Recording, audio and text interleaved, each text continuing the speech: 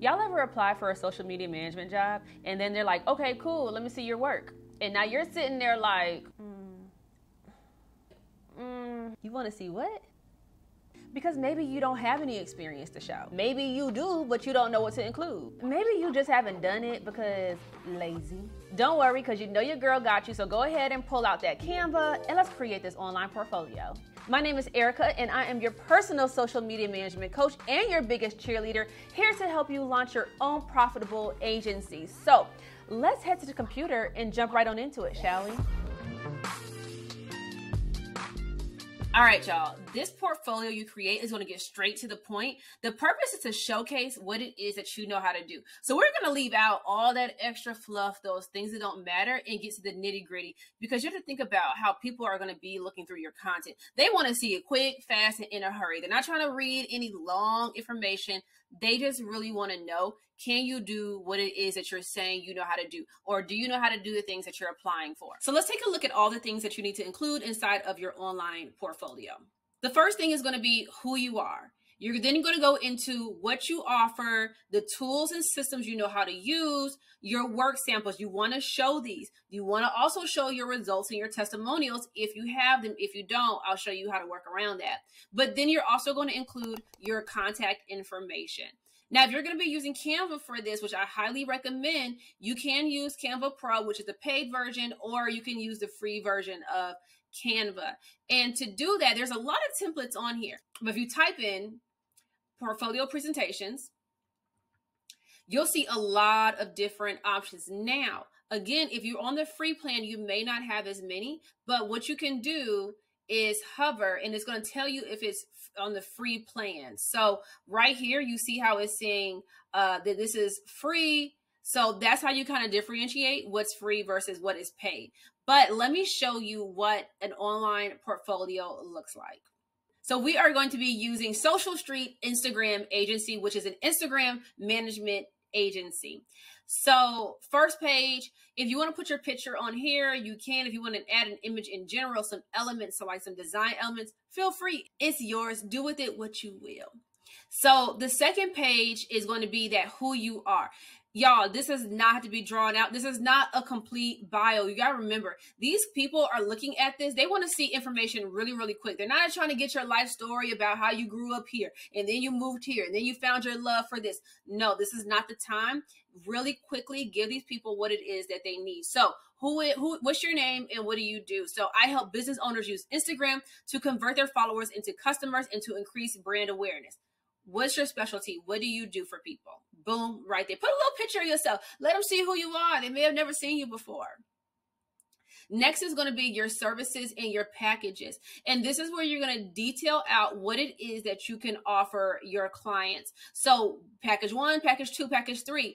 Or you could add another page in where you have your services. Maybe you have an Instagram audit. Maybe you have a content creation package. You can add all of these things in. One thing that you'll notice is that the pricing is not underneath here. If you want to add your pricing, please do add that in there. It is totally up to you. All right.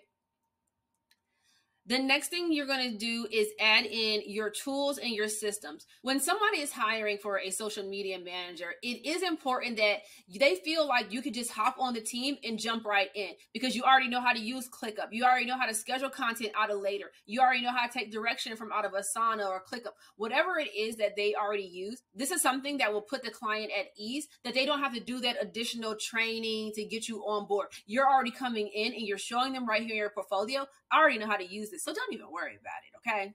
The next one is going to be your work samples. Now, you may have several pages for this. This can be laid out in different ways. The thing about this is, if we're talking about these social media platforms, you want to be able to showcase content that is actually trendy and things that are working on the platform right now. So, for example, we know that memes are working right now really well. We even know that carousels are working really well. So, what can you showcase inside of your portfolio that shows that you know how to stay on top of trends and you're creative and you have a variety of content. Like you're not a one trick pony where you're only creating one type of content. So I would definitely put in here some reels. If you want to upload videos into Canva, you can, and you can add that as part of your presentations.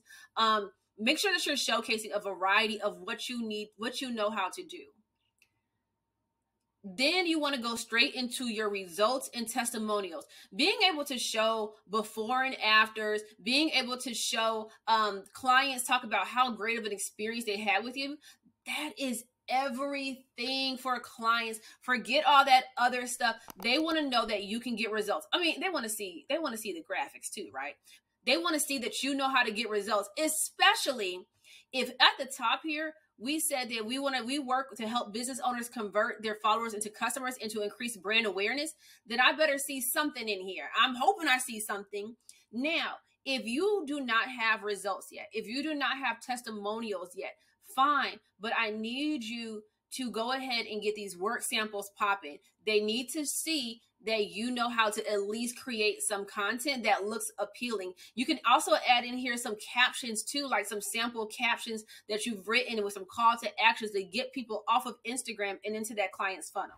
So when we're talking about results, I want to show you this example from one of my students from the agency Edit, Diamond. This is her portfolio, but let me just show you these results that she has. So on this page, she has a video testimonial, a written testimonial, as well as results. She has these screenshots which do not lie. So this is before working with Diamond and then after one month of actually working with her. So this is the kind of stuff that you eventually want to put inside of your portfolio.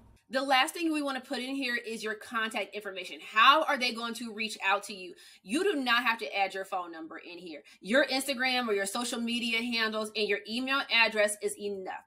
Now, when it comes to your email address, we want to make sure that it's professional. And that does not mean that it has to end in your domain name. So it can be um, your agency name at gmail.com. What we don't want though is we don't want like fresh and flirty 32 at gmail. Like that's not professional. So just make sure whatever it is that you choose ideally it should be your agency name at gmail or hello at whatever it is. Make it professional. But that's it y'all. That is just seven pages and of course, like I said, you want to add some bulk to this. So you do want to add in work samples. You do want to add in client testimonials as you start getting that type of stuff in. But keep this simple. People don't have a lot of time, but they do want to see your portfolio at times. And this is just one of the easiest, easiest ways to professionally present this to clients. So let me show you a few ways that you can actually share this with clients. The first way is that you can download this as a PDF. So if I go to download, and I'm going to go to file type and I'm going to change that to a PDF print. You can then send that inside of emails. You can upload it to Google Drive and send a link through Google Drive. Um, some people prefer to have it that way. Another way you can share this is by a link. So let me show you how to do that. You're going to go to share. And right here where it says share a link to edit, you're actually going to change that to view. What that's going to do is create a link. And when I pull it up in a new window, this is what it will look like. Now, the thing about this though is this will not allow them to download it. They will only be able to view it inside of this Canva link right here. Another way you can present this is as a website. So I'm going to click these three dots here. And it says, how would you like to publish? I'm going to type in website. And you see it pop up. All right. So there's a few different ways that you can do this. You can do a presentation style, scrolling style, where it just scrolls up and down, um, classic navigation, or standard. So let's just take a look at the standard uh, navigation window. So from here, the client will be able to click through to see all the different pages of your portfolio. So as you can see right here inside of Canva, you can present a really, really professional social media management portfolio that will really make your clients be like, okay, Mm-hmm. Or your potential clients, soon to be clients, say, okay, okay. So I really truly hope this video was helpful. If it was, please give me a thumbs up, leave a comment, and make sure you subscribe for more weekly videos on all things scaling and opening your own social media management agency.